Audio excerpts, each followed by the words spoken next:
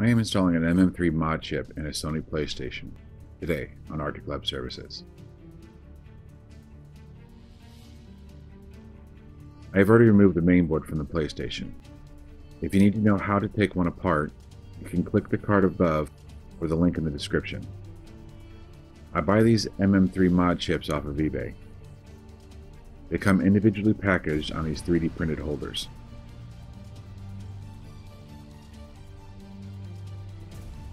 They come with enough wire to install on any version of PlayStation. Let's take a look at the chip. The chip is on a small PCB with the solder points numbered.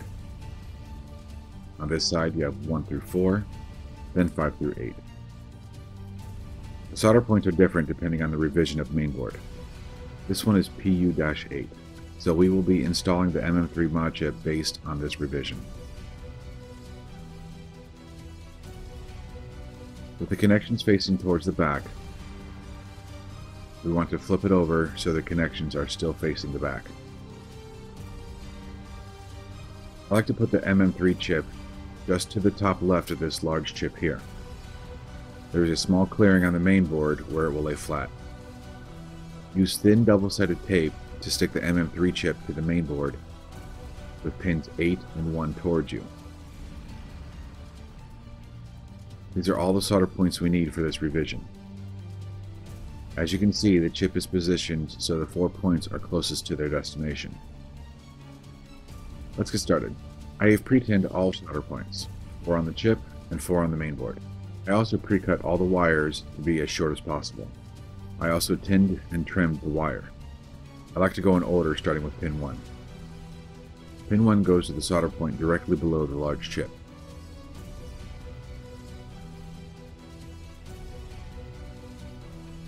We skip points 2, 3, and 4. Point 5 goes to this point here.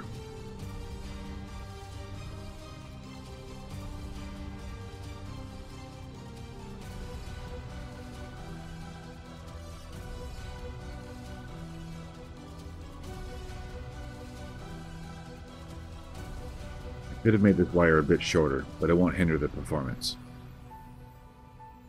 Point 6 goes up here.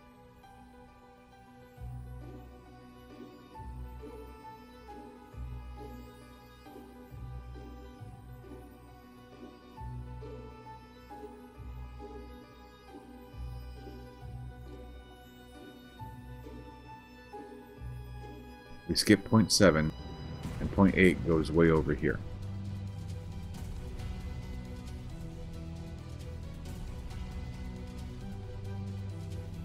This is a ground plane, so it might take a little extra heat. After we test all the connections and make sure the wires are laying flat, we're done. You just installed an MM3 mod chip into your Sony PlayStation. If you would like me to make a video on burning copies of your PlayStation games, let me know in the comments. Thanks for watching.